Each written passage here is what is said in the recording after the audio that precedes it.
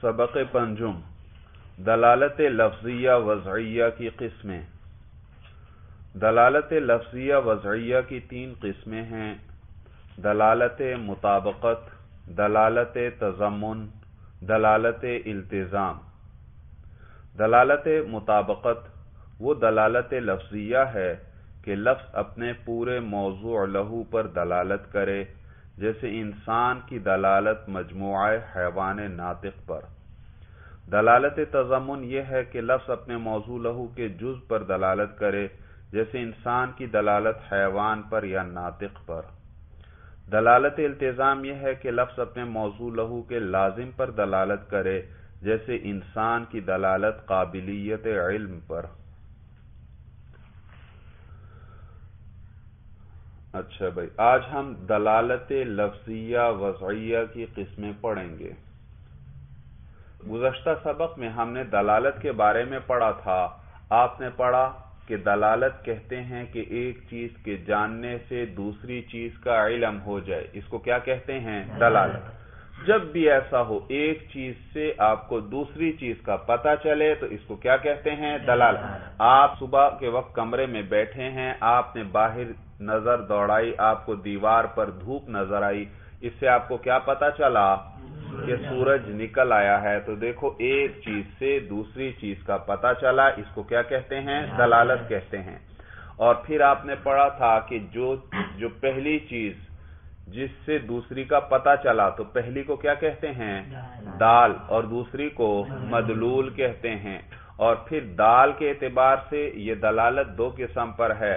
دال اگر لفظ ہو تو یہ دلالت لفظیہ ہے۔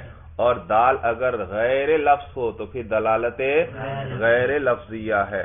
پھر چاہے دلالت لفظیہ ہو چاہے دلالت غیر لفظیہ ہو دونوں کی تین تین قسمیں ہیں۔ دلالت لفظیہ وہ وضعیہ بھی ہو سکتی ہے طبعیہ بھی ہو سکتی ہے اور عقلیہ بھی ہو سکتی ہے۔ دلالت لفظیہ وضعیہ۔ پہلے وضع کا وضع ذرا مختصر میں پھر بیان کر دیتا ہوں۔ وضع کسے کہتے ہیں؟ وضع کا معنی ہے مقرر کرنا۔ تو جس میں ہم نے ایک چیز کو دوسری چیز کے لیے مقرر کیا ہوتا ہے تو ایک چیز سے ہمیں دوسری چیز کا پتہ لگ جاتا ہے۔ جیسے سرخ رنگ کا اشارہ، یہ کس لیے مقرر کیا گیا ہے؟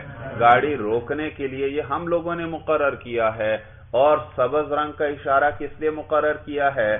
گاڑی چلانے کے لیے۔ تو آپ گاڑی چلا رہے ہوں، سرخ اشارہ جیسے ہی جلتا ہے، کوئی کچھ بھی نہیں بولتا، لیکن آپ خود بخود گاڑی روک لیتے ہیں۔ کیونکہ اس اشارے نے آپ کو بتلا دیا کہ اب کیا کرنا ہے؟ گاڑی کو روکنا ہے۔ تو ایک چیز نے دوسری چیز کا بتلایا۔ اسی طرح سبز اشارہ جیسے ہی جلتا ہے، آپ فوراً گاڑی چلا دیتے ہیں۔ آپ کو کسی نے کچھ نہیں کہا، لیکن اس اشارے نے آپ کو بتا دیا کہ اب کیا کرنا چاہیے؟ گاڑی چلا دینی چاہیے۔ تو یہ جو پہلی چیز ہے، وہ ہے دال، اور دوسری کیا ہے؟ مدلول ہے۔ مدلول۔ تو اور وضع وضع کا معنی مقرر کرنا، یہ ہم نے مقرر کیا ہے۔ دلالت لفظیہ وضعیہ، اس میں کیا ہوگا؟ دال لفظ ہوگا۔ پہلی بات تو یہ ہے، کیونکہ دلالت کون سی ہے؟ لفظی ہے۔ دال لفظ ہوگا، اور دلالت کس وجہ سے ہوگی؟ وضع کی وجہ سے ہوگی، مقرر کرنے کی وجہ سے ہوگی۔ اب پھر دوہرائیں دلالت لفظیہ وضعیہ کسے کہتے ہیں؟ جس میں دال لفظ ہوتا ہے اور دلالت وضع کی وجہ سے ہوتی ہے۔ اور دوسری قسم ہے دلالت لفظیہ طبعیہ۔ اس میں بھی دال لفظ ہوتا ہے اور دلالت طبیعت کی وجہ سے ہوتی ہے، طبیعت کے تقاضے کی وجہ سے۔ مثلا بھائی، مثال میں نے اس کی ذکر کی تھی کہ ایک ساتھی ہے آپ کا، وہ وہ غمگین بیٹھا ہے اور پھر اس نے ہائے ہائے شروع کر دیا۔ تو آپ فوراً سمجھ گئے کہ یہ کیا ہے؟ کہ معلوم ہوا یہ غم زدہ ہے، اس کو کوئی دکھ اور تکلیف پہنچی ہے تو آپ اس سے پوچھتے ہیں بھائی۔ تو دیکھو، دلالت طبعیہ کے اندر یہ جو دال ہوتا ہے نا، دال دال کیا تھا؟ وہ جو اس نے ہائے ہائے کہا۔ وہ لفظ ہے، وہ کیا ہے؟ اور یہ دال کیوں، دال کیسے بنا؟ کیسے اس کو وجود ملا؟ اس کی طبیعت نے تقاضا کیا۔ تو اس کو غم لاحق تھا مدلول پہلے سے تھا مدلول غم ہے نا؟ مدلول غم اس کو پہلے سے تھا۔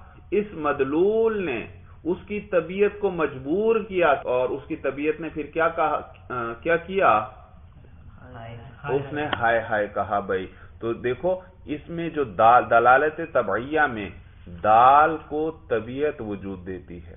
دال کو کون پیدا کرتی ہے؟ طبیعت۔ طبیعت پیدا کرتی ہے طبیعت کو مدلول لاحق ہوتا ہے، مدلول اس کے ساتھ جڑ جاتا ہے اور طبیعت پھر تقاضا کرتی ہے کہ کیا کرے، مثلا غم لاحق ہوا ہے تو طبیعت کیا کہتی ہے؟ ہائے ہائے کرے، ہائے ہائے کہے۔ یا اسی طرح آپ کو کسی بات کسی بات پر خوشی لاحق ہوتی ہے، خوش ہوتے ہیں تو آپ واہ واہ کرتے ہیں۔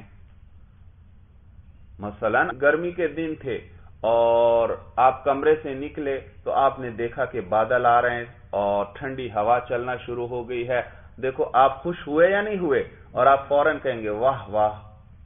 دیکھو، خوشی سے آپ نے کہا۔ تو یہ جو واہ واہ ہے، یہ کس وجہ سے کہا آپ نے؟ آپ کو کیا لاحق ہوئی؟ خوشی۔ اور اس خوشی کی وجہ سے آپ کی طبیعت نے کیا تقاضا کیا کہ کیا کہو؟ واہ واہ۔ تو یہ جو واہ واہ بات چل رہی ہے دلالت کی۔ دلالت میں کیا ہوتا ہے؟ ایک چیز سے دوسری چیز کا پتا چلتا ہے۔ تو یہاں کیسے ایک چیز کا دوسری ایک چیز سے دوسری چیز کا پتا کیسے چل رہا ہے؟ جی؟ یہ تو ٹھیک ہے طبیعت نے تقاضا کیا آپ نے واہ واہ کر دیا۔ یا طبیعت نے تقاضا کیا آپ نے ہائے ہائے کیا۔ دلالت کیسے ہے؟ دلالت کیسے ہے؟ جی؟ کیسے؟ مثلا بتائیے مجھے۔ کس چیز سے کس چیز کا پتا چل رہا ہے؟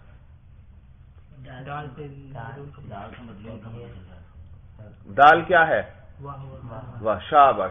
دیکھو اس کو تو پتا ہے وہ تو خوش ہے۔ اور اسی خوشی کی وجہ سے اس نے واہ واہ کہا ہے۔ یا وہ غمگین ہے اس کو تو پتہ ہے میں غمزدہ ہوں اور اس نے ہائے ہائے کہا ہے۔ ہاں لیکن اس ہائے ہائے کی وجہ سے آپ کو کس چیز کا پتا چلا؟ اس دال کی وجہ سے مدلول غم کا پتا چلا۔ یا یہ واہ واہ جو کہا، تو اس واہ واہ کی وجہ سے آپ کو اس کی خوشی کا پتا چلا۔ تو دیکھو، یہ واہ واہ کیا ہے؟ دال۔ اور وہ خوشی کیا ہے؟ مدلول۔ اور یہ واہ واہ اس کو کس چیز نے وجود دیا؟ یہ واہ واہ جو آپ نے کہا یہ کس نے تقاضا کیا یا آپ کی طبیعت نے تقاضا کیا تو یہ جو دلالت طبعیہ ہوتی ہے نا اس میں دال کو طبیعت وجود دیتی ہے طبیعت تقاضا کرتی ہے کہ اس طرح کرو تو یہ آپ نے یہ ہائے ہائے جو کہا یا واہ واہ کہا تو یہ کون سی دلالت ہوئی دلالت لفظیہ طبعیہ۔ لفظیہ کیوں؟ کیونکہ یہ ہائے ہائے اور واہ واہ کیا ہے؟ لفظ ہے۔ اور طبعیہ کیوں؟ کہ ان کو وجود کیوں ملا؟ کس کی کس نے تقاضا کیا؟ طبیعت نے تقاضا کیا۔ اور اگر دلالت لفظیہ تو ہے، لیکن نہ اس میں وضع کا دخل ہے، نہ اس میں طبیعت کا دخل ہے، تو پھر یہ دلالت لفظیہ، عقلیہ کہلائے گی۔ اس کی مثال انہوں نے ذکر کی تھی کہ دیوار کے پیچھے سے آپ نے دیز کی آواز سنی۔ دیز کی آواز۔ دیز ایک لفظ ہے جس کا کوئی معنی نہیں۔ اسی زید کو الٹ دیا۔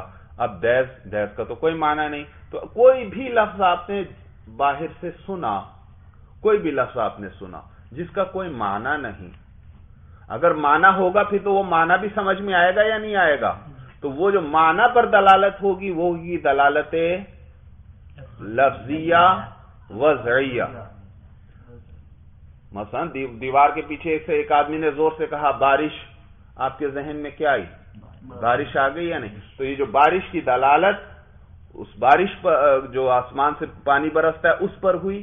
یہ کون سی دلالت ہے؟ لفظیہ ہے اور کون سی ہے؟ وضعیہ ہے۔ لیکن ساتھ ہی ایک اور بات کا بھی آپ کو پتا چل گیا، کیا؟ کوئی باہر کوئی ہے۔ یہ دلالت، یہ جو لفظ بارش نے دلالت کی کس پر؟ باہر کسی آدمی کے ہونے پر۔ یہ دلالت لفظیہ ہے، لیکن عقلیہ ہے۔ کیا ہے؟ اس میں وضع کا دخل نہیں۔ بارش کے لفظ کو کیا ہم نے اس لیے مقرر کیا کہ اس سے پتا چلتا ہے باہر کوئی آیا ہے؟ نہیں نہیں، یہ اس لیے مقرر ہی نہیں ہے۔ تو یہ ایک الگ چیز کا آپ کو پتا چلا اور دلالت ہوئی اور یہ کون سی دلالت ہے؟ عقلی یعنی اس میں ہمارے مقرر کرنے کا کوئی دخل نہیں ہے بھائی۔ بات اچھی طرح سمجھ میں آ گئی۔ اسی طرح دلالت غیر لفظیہ میں بھی یہی تینوں قسمیں جاری ہوں گی۔ دلالت غیر لفظیہ وضعیہ۔ جس میں وضع کا تو دخل ہے، لیکن دال غیر لفظ ہے۔ مثلا تار کی وہ کھٹ کھٹ بھائی۔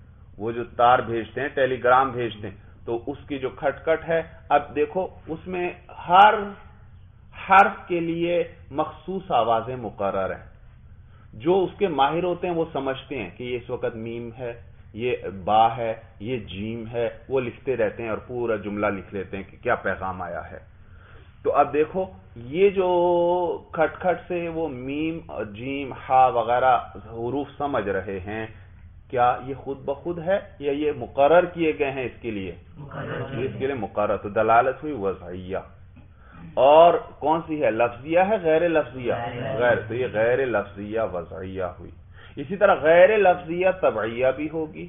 مثلا گھوڑا ہن ہنایا اس سے آپ کو کیا پتا چلا کہ اس کو بھوک لگی ہے؟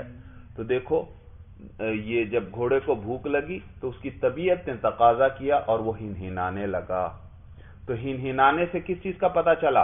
اس کے بھوک کا. تو ہن ہنانا یہ لفظ ہے نہیں تو یہ دلالت غیر لفظیہ ہوئی. اور یہ ہن ہنانا اس کی طبیعت نے تقاضا کیا تھا. دلالت کون سی ہوئی؟ طبعیہ تو دلالت غیر لفظیہ طبعیہ بھائی. اور اسی طرح کیا ہے؟ دلالت غیر لفظیہ عقلیہ. تو دلالت غیر لفظی ہو اور اور نہ وضع کا دخل ہو نہ طبیعت کا دخل ہو تو پھر وہ کیا کہلائے گی؟ دلالت غیر لفظیہ، عقلیہ۔ جیسے دھوئیں کو آپ نے دیکھا تو کس چیز کا پتا چلا؟ آگ کا پتا چلا۔ تو اس طرح جہاں بھی آپ کو غور کریں، بہت سی مثالیں آپ کو قدم قدم پر مل جائیں گی۔ جب بھی ایک چیز سے دوسری چیز کا پتہ چلے، سمجھ جائیں یہ دلالت ہے۔ اور پھر کون سی قسم ہے؟ آپ غور کر لیں کہ دال لفظ ہے یا غیر لفظ ہے۔ اگر لفظ ہے تو لفظیہ، غیر لفظ ہے تو غیر لفظیہ۔ پھر غور کر لیں کہ یہ جو دال ہے، یہ اس نے دلالت کی ہے، وضع کی وجہ سے کی ہے اور یا نہیں؟ اور یا کیا یہ طبیعت کے تقاضے کی وجہ سے پیدا ہوا ہے یا نہیں؟ تو اگر طبیعت کی وجہ سے تو طبعیہ، اور اگر ورنہ پھر کیا ہے؟ عقلیہ ہے بھائی۔ سورج سمجھ میں آ گئے۔ اب یہ جو دلالت کی چھ قسمیں پڑھی آپ نے، چھ قسمیں۔ ذرا ان کو دوہرا لیں صرف نام ان کے۔ پہلی قسم کیا؟ دلالت لفظیہ وضعیہ دوسری کیا؟ دلالت لفظیہ طبعیہ، تیسری؟ دلالت لفظیہ عقلیہ، چوتھی قسم؟ دلالت غیر لفظیہ وضعیہ، پانچویں قسم؟ دلالت غیر لفظیہ طبعیہ، اور چھٹی قسم؟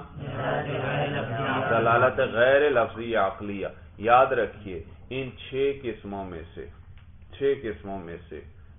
جو دلالت لفظیہ وضعیہ ہے۔ دلالت لفظیہ وضعیہ منطقی اس کے بارے میں بحث کرتے ہیں کیونکہ اس کا فائدہ سب سے زیادہ ہے۔ باقی دلالتوں کا بھی فائدہ ہے لیکن اتنا نہیں جتنا فائدہ کس کا ہے؟ دلالت لفظیہ وضعیہ۔ دیکھو، یہ جتنی میں تقریر کر رہا ہوں اور آپ سمجھتے جا رہے ہیں، یہ کون سی دلالت ہے؟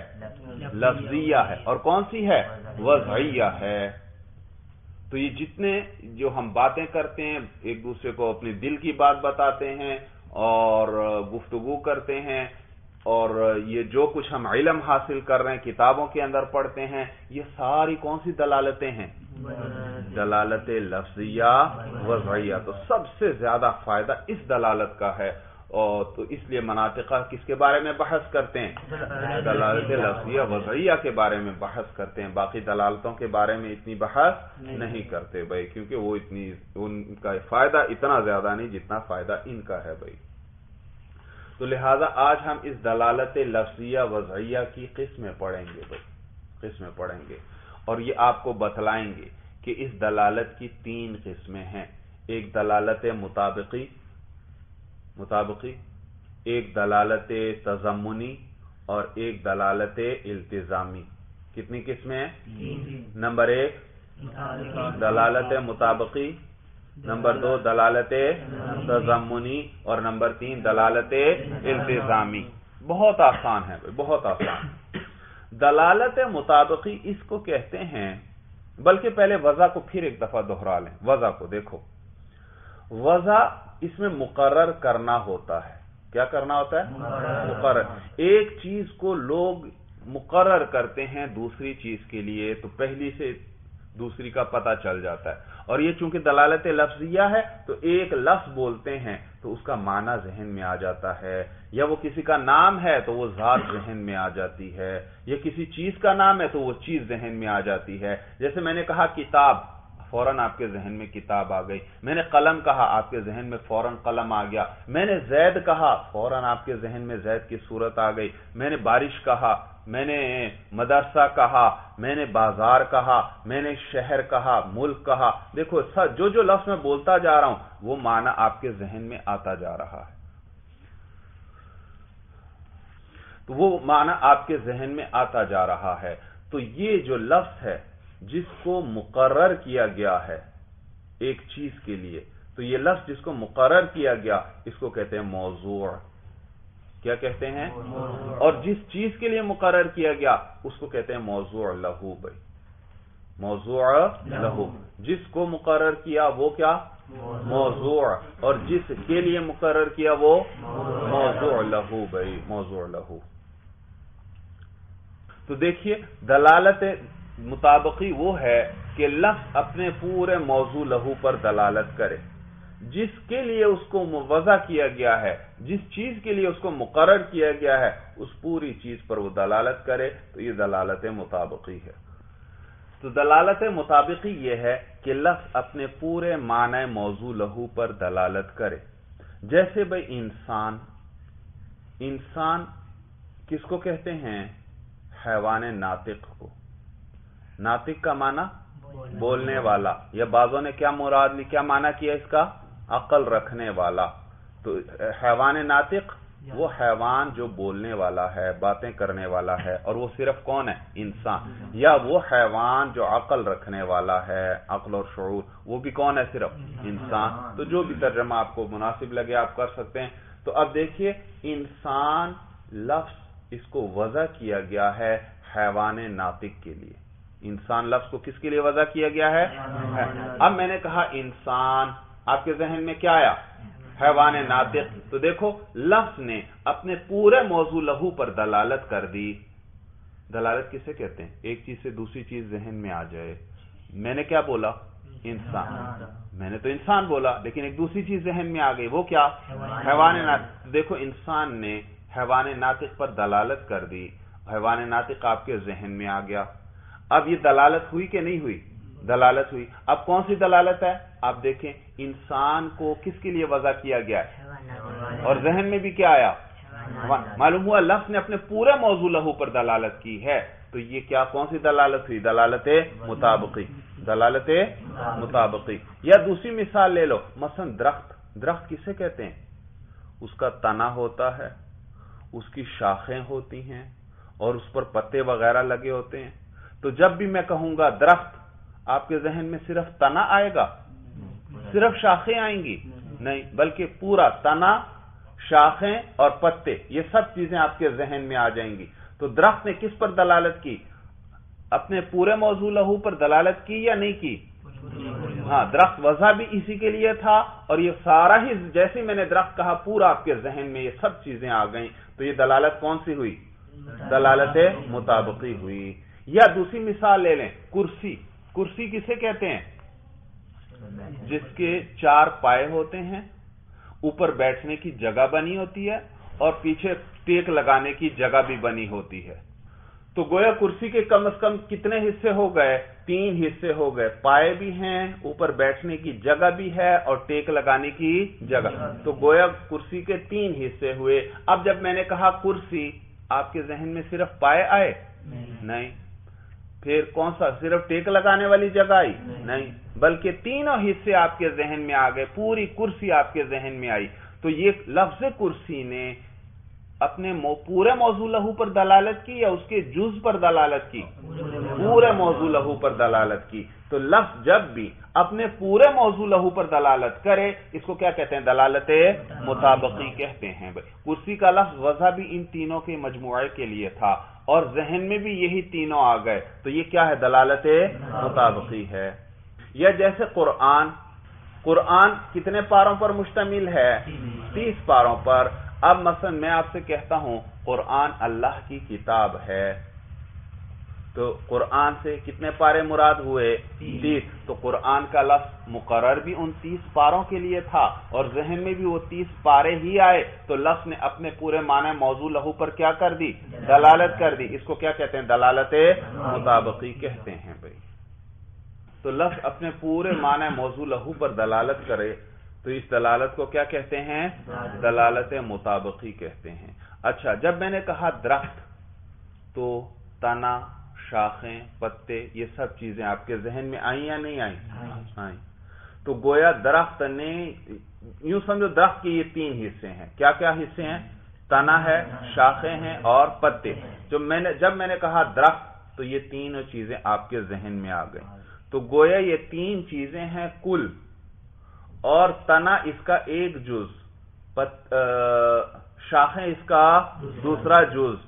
اور پتے اس کا تیسرا جز یا تیسرا حصہ بھائی۔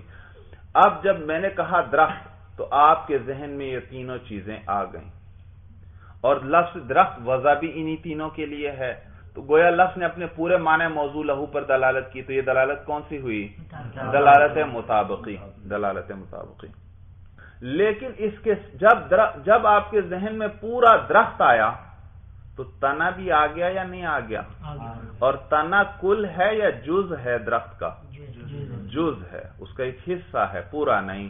تو گویا درخت نے معنی موضوع لہو کے جز پر بھی دلالت کر دی۔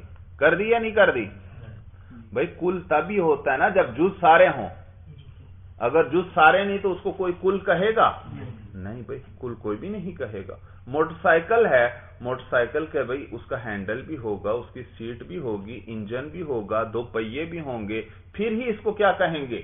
موٹر سائیکل کہیں گے۔ اگر دو پہیے نہیں ہے باقی چیزیں ہیں تو کوئی اس کو موٹر سائیکل کہے گا؟ نہیں، یہ تو موٹر سائیکل پوری نہیں ہے بھائی کچھ حصہ ہے، کچھ نہیں ہے بھائی۔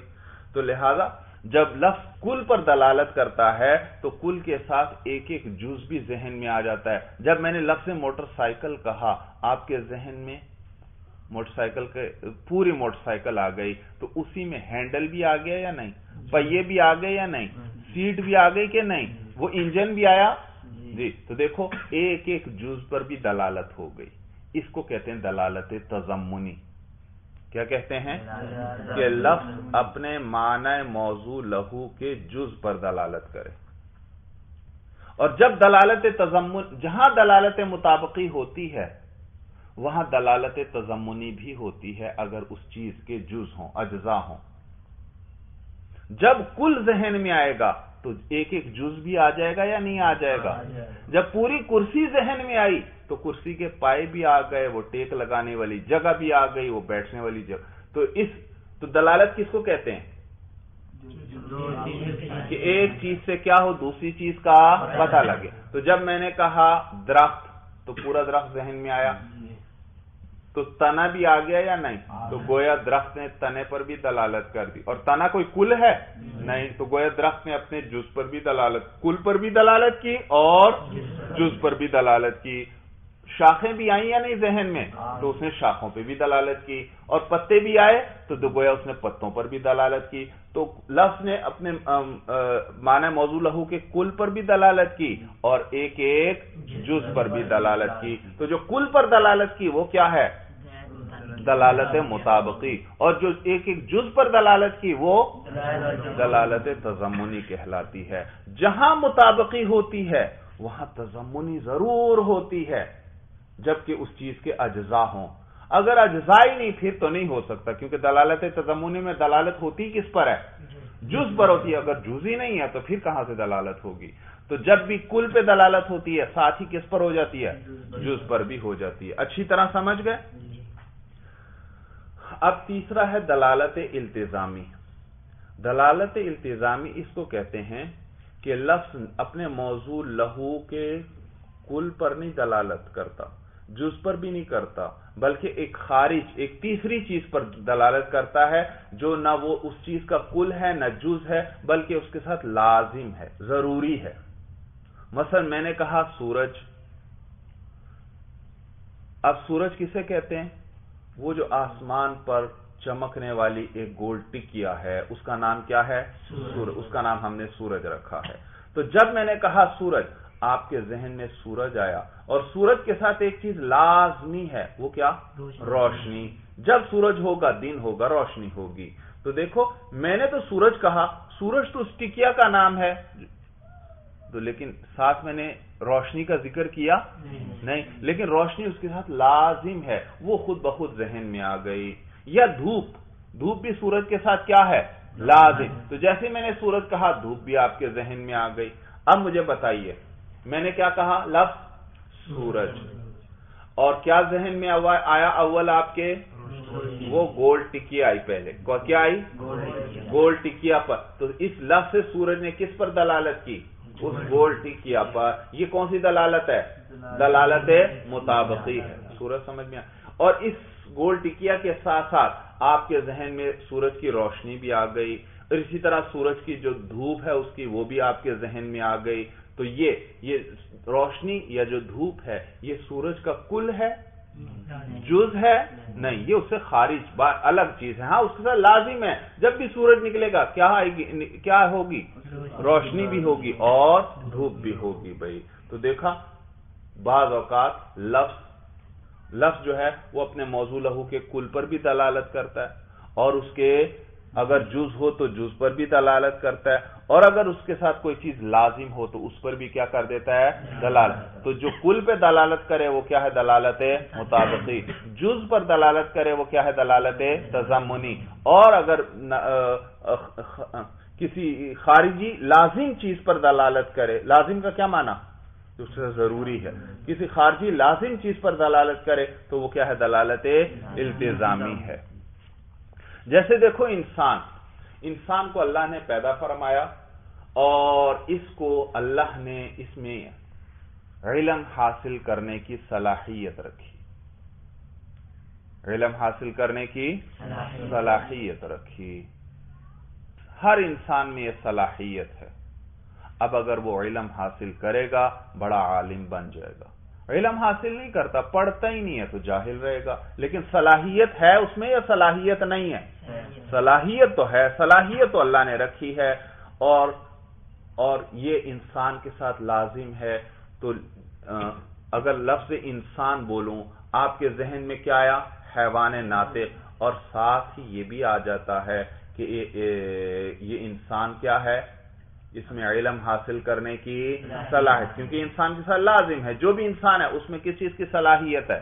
علم حاصل کرنے کی صلاحیت ہے۔ تو انسان کی دلالت حیوان ناطق پر یہ کیا ہے؟ دلالت مطابقی انسان کی دلالت صرف حیوان پر یا صرف ناطق پر یہ کیا ہے؟ دلالت۔ تزمنی اور انسان کی دلالت علم کی قابلیت اور علم کی صلاحیت پر یہ کیا ہے؟ یہ دلالت التزامی ہے۔ ارادہ نہیں مراد۔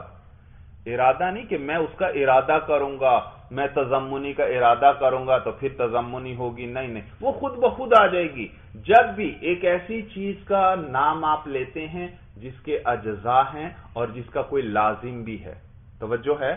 جب بھی آپ کس کا نام لیتے ہیں؟ ایک ایسی چیز کا جس کے کیا ہیں؟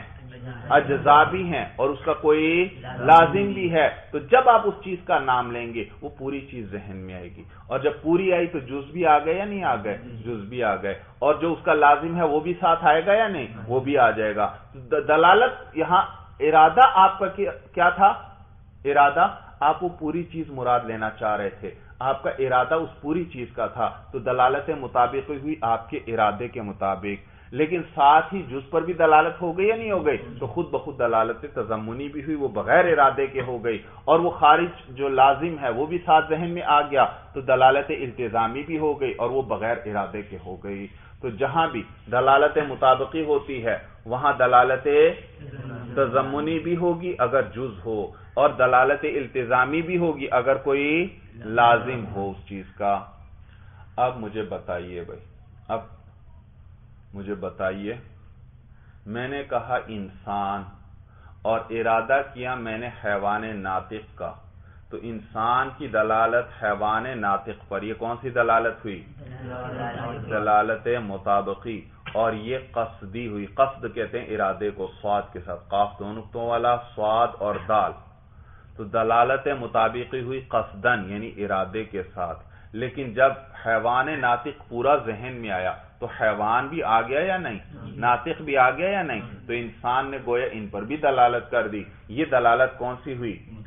تزمنی ہوئی۔ اور قصدن ہوئی یا بلا قصد ہوئی؟ یہ بلا قصد ہو گئی لیکن ہوئی دلالت۔ اور ساتھ ہی انسان کی علم کی قابلیت پر بھی دلالت ہو گئی یا نہیں ہو گئی؟ وہ بھی ہوئی۔ اور اس کا آپ نے کوئی ارادہ کیا؟ نہیں۔ تو دلالت التزامی ہوئی اور قصدن ہوئی یا بلا قصد ہوئی؟ بلا قصد ہوئی۔ تو انسان کی دلالت حیوان ناطق پر ہوئی، وہ ہوئی قصدن دلالت مطابقی۔ اور انسان کی دلالت صرف حیوان پر یا صرف ناطق پر یہ دلالت انتظمنی ہوئی اور یہ بلا قصد ہوئی۔ اور انسان کی دلالت قابلیت علم پر خود بھی ہوئی اور یہ دلالت التزامی ہے اور یہ بلا قصد ہوئی۔ لیکن ہوئی کہ نہیں ہوئی؟ تینوں دلالتیں۔ جہاں مطابقی ہوگی، وہاں تزمنی بھی ہوگی۔ بات پوری کریں بشرتے کہ اس چیز کا کوئی جز ہو۔ اور وہاں التزامی بھی ہوگی بشرتے کہ اس چیز کا کوئی لازم ہو۔ اور ہم یہ دلالتیں استعمال کرتے ہیں۔ یہ سب دلالتیں ہم استعمال کرتے ہیں۔ کبھی ہمارا ارادہ کہیں پر دلالت مطابقی کا ہوتا ہے، کبھی ہمارا ارادہ دلالت تزمونی کا ہوتا ہے۔ کبھی ہمارا ارادہ دلالت التزامی کا ہوتا ہے۔ دیکھو، مثالوں سے اور بات واضح ہو جائے گی۔ مثلا، میں نے کہا، قرآن اللہ کی کتاب ہے۔ اب مجھے بتائیے، قرآن کس کے لیے وضع ہے؟ کتنے سپاروں کے لیے؟ تیس میں نے کہا، قرآن اللہ کی کتاب ہے۔ تو اس قرآن سے میں نے کتنے پاروں کا ارادہ کیا؟ تیس یا بیس کا۔ قرآن جب میں نے بولا تو سارے اللہ کی کتاب میں شامل ہیں۔ تو تیس کے تیس پاروں کا ارادہ کیا اور وہی آپ کے ذہن میں بھی آئے۔ تو دیکھو، میں نے لفظ قرآن بولا۔ اس قرآن کی دلالت کس پر ہوئی؟ تیس پاروں پر۔ تو یہ دلالت کون سی ہوئی؟ مطابقی۔ اور جب تیس پاروں پہ دلالت ہوئی تو پہلا پارا بھی بیچ میں آ گیا یا نہیں؟ دوسرا بھی آ گیا۔ تو یہ ایک ایک جز پہ بھی دلالت ہو گئی۔ یہ کون سی ہوئی؟ یہ تزمنی ہوئی۔ اب مجھے بتائیے کون سی ارادے کے ساتھ ہے کون سی بغیر ارادے کے ہے؟ مطابقی ارادے کے ساتھ۔ ہے۔ اور یہ ایک ایک پارے پر جو دلالت ہے وہ تزمنی وہ کیا ہے؟ بغیر۔ ارادے کے ہے۔ دوسری مثال مجھے بتائیے بھائی۔ آپ کا ایک ساتھی ہے، اس کو عادت ہے ہر روز بلا ناغا وہ ایک سپارہ قرآن تلاوت کرتا ہے۔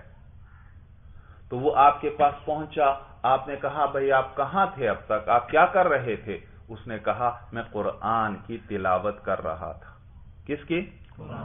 قرآن کی. تلاوت. اب مجھے بتائیے اس کے اس قرآن سے کیا مطلب ہے؟ اس نے پورے قرآن کی ابھی تلاوت کی ہے؟ نہیں. کتنے کی کی ہے؟ ایک سپارے کی. تو قرآن بول کر یہاں پورا قرآن مراد ہے یا ایک سپارہ؟ ایک سپارہ. کیا مراد ہے؟ تو قرآن کی دلالت اولن کس پر ہوئی؟ اولن اولن قرآن بولا جائے تو کیا ذہن میں آتا ہے؟ تو تیس پاروں پر بھی ہو گئی. اور تیس کے ساتھ ساتھ وہ جو ایک پارا جو یہ اس نے تلاوت کیا ہے اس پر بھی ہو گئی۔ دلالت ہوئی یا نہیں ہوئی؟ اب مجھے بتائیے تیس پاروں پر دلالت یہاں ارادے سے ہے یا ایک پارے پر؟ تو یہاں دلالت تزمنی کیا ہے؟ ارادے قصدن ہے۔ اور دلالت مطابقی کیا ہے؟ بلا قصد ہے۔ اور مثال لے لیں۔ آپ کا ایک ساتھی ہے اس نے کرسی کا پایا توڑ دیا اور پھر آپ کو دوسرے نے بتایا کہ بھائی زید نے آپ کی کرسی توڑ دی ہے۔ زید نے آپ کی کرسی توڑ دی ہے۔ اس نے کرسی کا لفظ بولا۔ تو اس کرسی کی دلالت اول کس پہ ہے؟ پورے حصے پر۔ کرسی کے پایوں پر بھی ہے، بیٹھنے کی جگہ اور ٹیک لگانے کی بھی۔ وہ بھی ذہن میں آئی۔ کرسی جب بھی بولیں گے یہ سب چیزیں آئیں گی ذہن میں کہ نہیں آئیں گی؟ تو اس کرسی کی دلالت پورے موضوع لہو پر کون سی ہوئی؟ مطابقی۔ اور اسی کرسی کی دلالت پائے پر کیا ہوئی؟ تزمنی اور یہاں اس کا ارادہ کس کا ہے؟ پائے کا ارادہ ہے یا پوری کرسی کا ارادہ ہے؟ جی؟ اس کے پائے کا ارادہ ہے کہ پایا اس نے توڑا ہے۔ تو دیکھو، دلالت مطابقی ہوئی قصد کے ساتھ یا بلا قصد؟ بلا قصد. اور دلالت تزمنی کیا ہوئی؟ قصد کے ساتھ. اسی طرح آپ کا ایک ساتھی ہے. آپ نے اس سے پوچھا، آپ کہاں رہتے ہیں؟ اس نے کہا، میں رائے ونڈ میں رہتا ہوں۔ رائے ونڈ میں رہتا ہوں۔ تو رائے ونڈ کا لفظ پورے شہر کے لیے وضع ہے یا اس کے کچھ حصے کے لیے وضع ہے؟ پورے شہر کے لیے وضع ہے۔ تو رائے ونڈ کی دلالت ہوئی پورے شہر پر. یہ کون سی ہے؟ مطابقی۔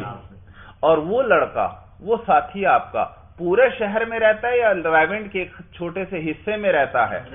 رائیونڈ کے ایک چھوٹے سے حصے میں۔ تو جب رائیونڈ کی دلالت پورے شہر پر ہو گئی، تو اس چھوٹے حصے پر بھی دلالت ہو گئی یا نہیں ہو گئی؟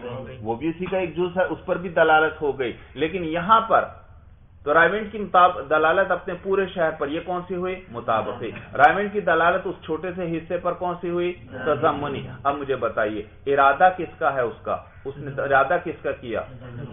دلالت اس نے دلالت تزمنی کا ارادہ کیا۔ تو دلالت تزمنی ہوئی قصدن اور دلالت مطابقی ہوئی بلا قصد۔ تو یاد رکھو جب بھی آپ کوئی لفظ بولتے ہیں وہ ہمیشہ اپنے پورے موضوع لہو پہ دلالت کرتا ہے۔ کس پہ دلالت کرتا ہے؟ وہ ہمیشہ پورا موضوع لہو ذہن میں آئے گا۔ یہ نہ کہیں آپ کہ اس نے مجھے کہا میں رائیونڈ میں رہتا ہوں تو آپ کے ذہن میں وہ ایک محلہ آئے گا، بس رائیونڈ نہیں آئے گا۔ نہیں نہیں۔ جب بھی کوئی لفظ بولو گے، فوراً کیا آئے گا؟ اولن پورا موضوع لہو آئے گا۔ کیا آئے گا؟ پورا موضوع لہو۔ آپ کے ذہن میں آئے گا۔ اور پھر اس کے جب پورا ذہن میں آیا تو اگر اس کے جز ہیں وہ بھی ذہن میں آ گئے۔ اور اس کا اگر کوئی لازم ہے وہ بھی ذہن میں آ گئے۔ تو وہاں دلالت مطابقی بھی خود بخود ہوگی۔ وہاں دلالت تزمنی بھی ہوگی۔ اور اگر کوئی لازم خارج ہے تو دلالت التظامی بھی ہوگی۔ تو جب بھی کوئی لفظ بولیں گے ذہن میں کیا آئے گا؟ وہ پورا موضوع لہو ہی ذہن میں آئے گا۔ ہاں ارادہ کس کا اس نے کیا ہے؟ اگر اس نے پورے موضوع لہو کا ہی ارادہ کیا ہے، تو ہم کہیں گے دلالتیں مطابقی ہے قصدن اور باقی دو دلالتیں ہیں بلا قصد۔ اور اگر اس نے حصے کا ارادہ کیا ہے، تو ہم کہیں گے دلالت تزمنی ہے قصدن اور باقی دو دلالتیں ہیں بلا قصد۔ اور اگر اس نے ارادہ کیا ہے کس کا؟ التزامی کا تو ہم کہیں گے دلالت التزامی ہے قصدن اور باقی دو کیا ہیں؟ بلا لیکن ہیں تینوں دلالتیں۔ جب بھی ایک چیز کا جز ہوگا وہ چیز بولو گے تو اس کا جز بھی ذہن میں آئے گا۔ اگر لازم ہوا تو وہ بھی ذہن میں آئے گا۔ تو یہ نہ کہو کہ تینوں ہمیشہ اکٹھی ہوں گی۔ نہیں نہیں۔ تینوں ہمیشہ اکٹھی نہیں ہوں گی۔ لیکن التزامی جہاں بھی ہوگی وہاں مطابقی ضرور ہوگی۔ توجہ ہے؟ جی۔ تینوں دلالتیں ہمیشہ اکٹھی نہیں ہوں گی۔ دلالت مطابقی تو ہوگی ہوگی۔ کیونکہ لفظ کو ہمیشہ کسی نہ کسی چیز کے لیے کیا کیا جاتا ہے؟ وضع کیا جاتا تو کوئی نہ کوئی چیز تو ہوگی جس کے لیے آپ نے تو مطابقی ہمیشہ ہوگی۔ تزمنی کب ہوگی؟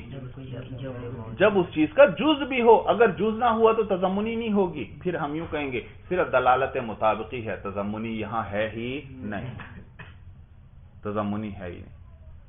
اور اسی طرح مطابقی ہو اور دلالت التزامی نہ ہو، ایک چیز ایسی ہے جس کا کوئی لازم ہی نہیں ہے۔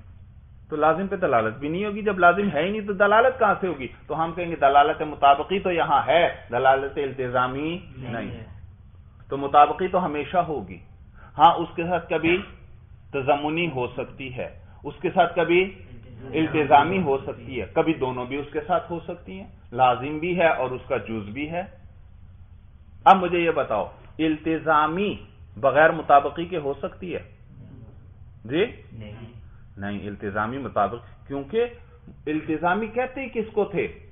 اپنے موضوع لہو کے خارج پہ دلالت کرے۔ تو خارج پہ تب ہی دلالت ہوگی نا جب کوئی موضوع لہو تو پتا چلے، یہ موضوع لہو ہے اور یہ کیا کر رہی ہے اس کے؟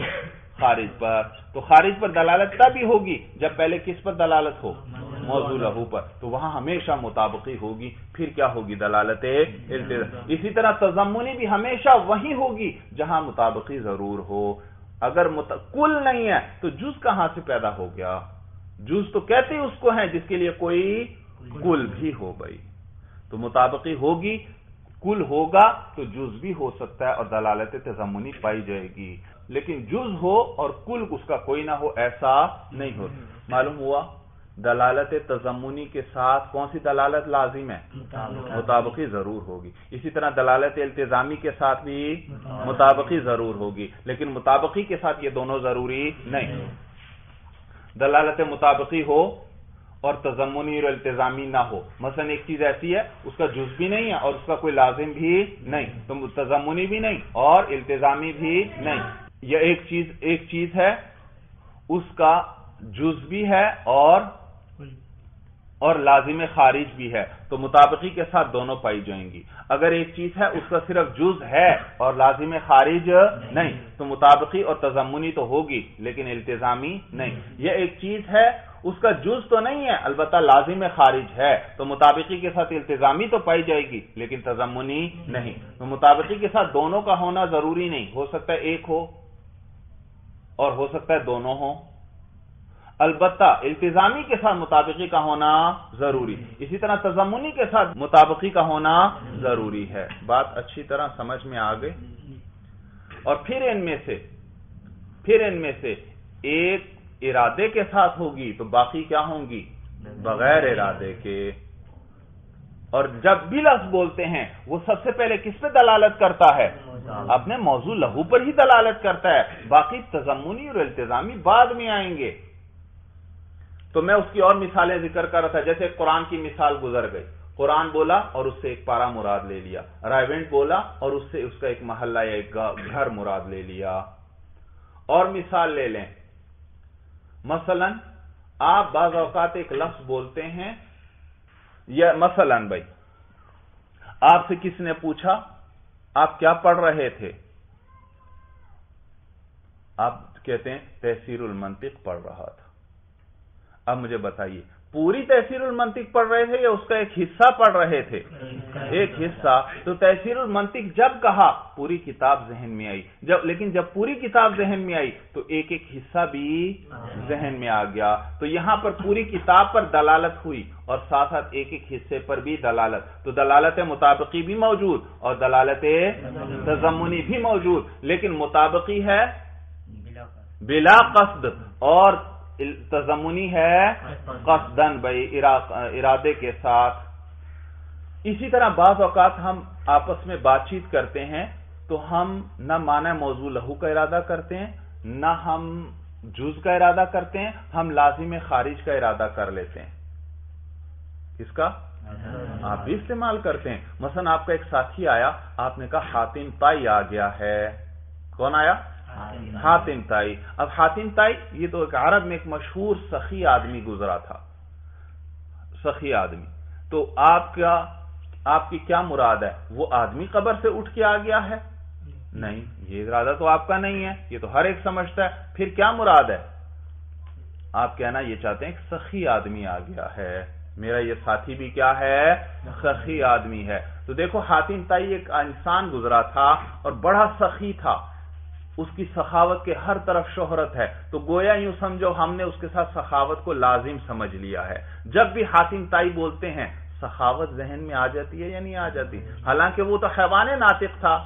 حیوان ناطق کے ساتھ تو سخاوت لازم نہیں ہے۔ کوئی بس کنجوس ہوتا ہے یا نہیں ہوتا کوئی آدمی؟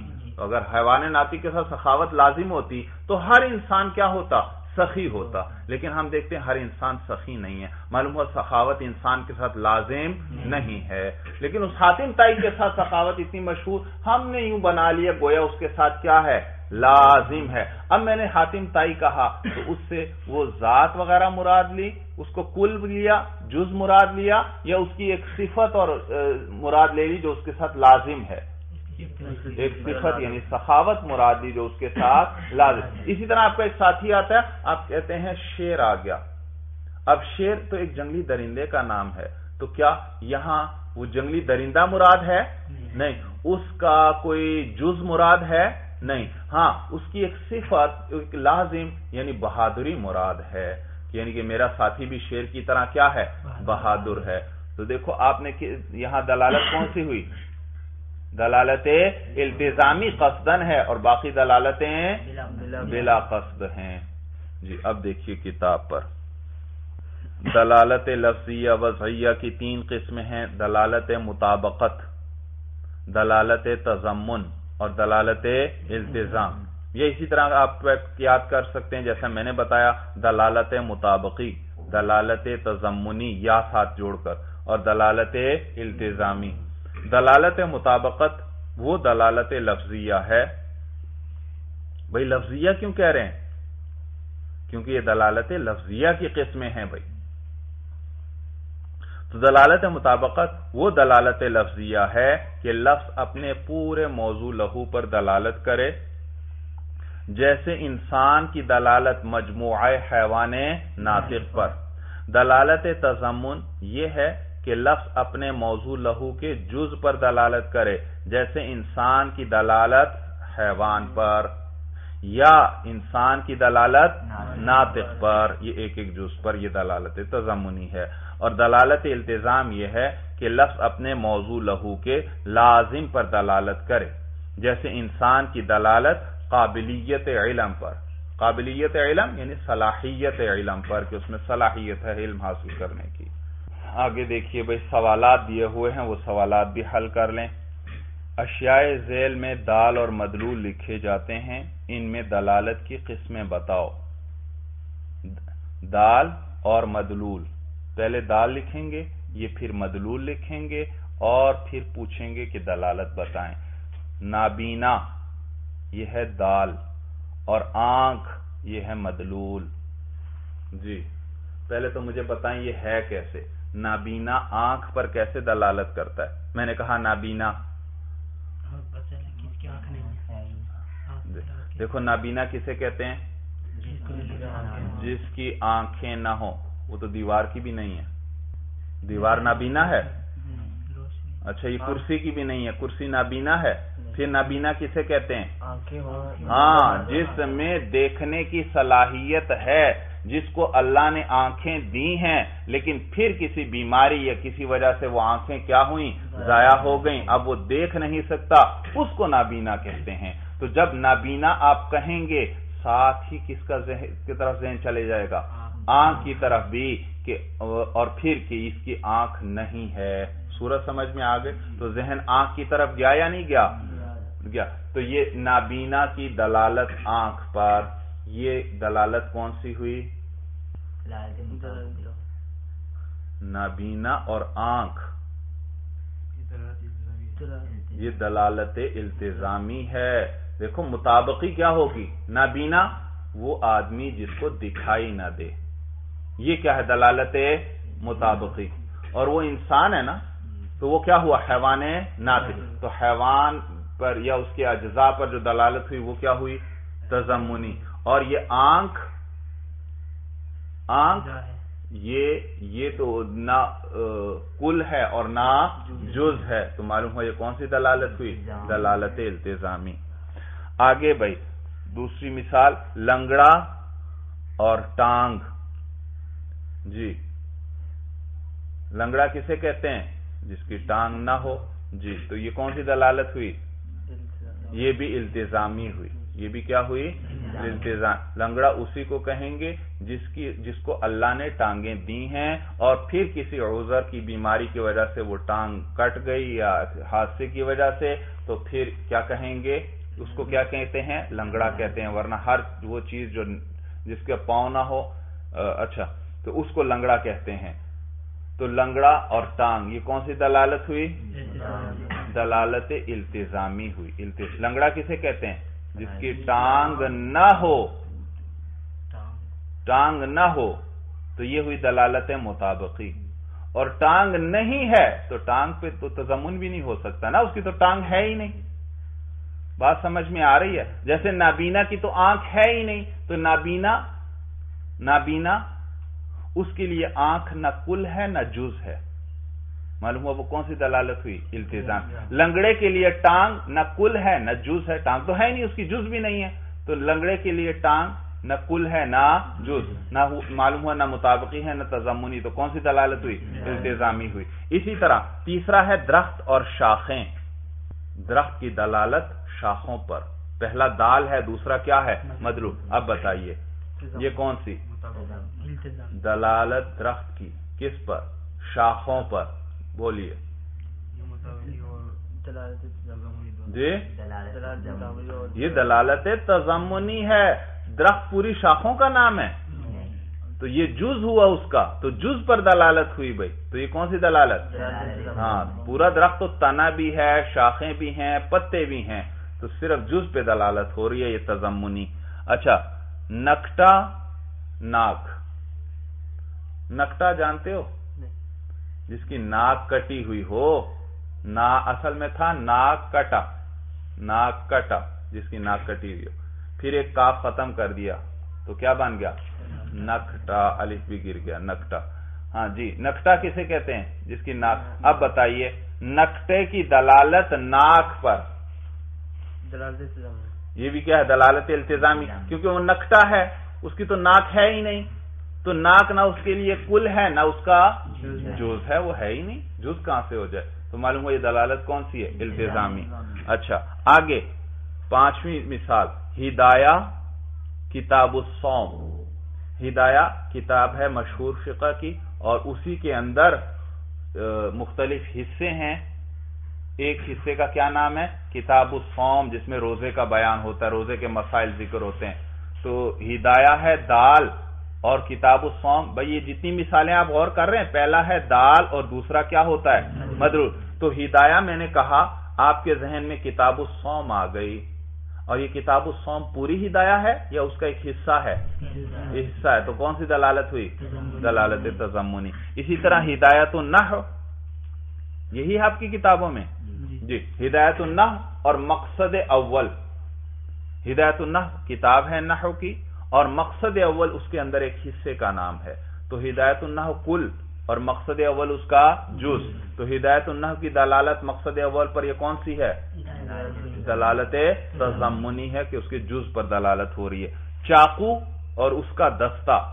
بھائی دیکھیے، چاقو آپ جانتے ہیں، چاقو کے دو حصے ہوتے ہیں۔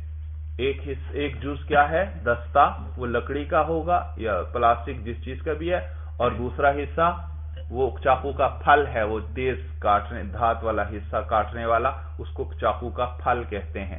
تو چاقو جب میں نے کہا آپ کے ذہن میں وہ دستہ بھی آ گیا اور اس کا پھل پھل بھی اب یہاں پر چاقو اور اس کی دلالت صرف اس کے دستے پر یہ کون سی ہے؟ یہ دلالت تزمنی ہے کہ جز پر دلالت ہے۔ بات اچھی طرح سمجھ میں آ گئی بھائی۔ یہ تھی دلالت لفظیہ وضعیہ کی قسمیں بھائی۔ تو لفظ ہمیشہ کس پر دلالت کرتا ہے؟ اپنے پورے موضوع لہو پر۔ اور اس پورے موضوع لہو پر جب وہ دلالت کرے گا اور وہ ذہن میں آئے گا، تو اگر کوئی جز ہے تو وہ بھی ذہن میں آ جائے۔ اور اگر کوئی لازم خارج ہے تو وہ بھی ذہن میں آ جائے گا۔ تو اولاً مطابقی مطابقی ہوتی ہے دلالت، پھر تضمنی یا التزامی ہوتی ہے۔ اور تضمنی اور التزامی بغیر مطابقی کے ہوتی نہیں ہے جہاں بھی تضمنی ہوگی یا التزامی ہوگی، وہاں دلالت مطابقی ضرور ہوگی۔ لیکن مطابقی کے ساتھ یہ دونوں ضروری نہیں ہے اگر کوئی ایسا کل ہے کوئی ایسی چیز ہے جس کا جز ہی نہیں، تو یہاں تضمنی ہو ہی نہیں سکتی۔ یا ایسی چیز ہے جس کا کوئی لازم خارج نہیں، تو یہاں پر دلالت التزامی نہیں ہو سکتی۔ تو مطابقی بغیر تضمنی اور بغیر التزامی کے پائی جا سکتی ہے، لیکن وہ دونوں بغیر مطابقی کے نہیں پائی جا سکتی اور یہ بات اور یہ بات بھی آپ کو سمجھ میں آ گئی کہ ہمارے ارادے سے کچھ نہیں ہوتا۔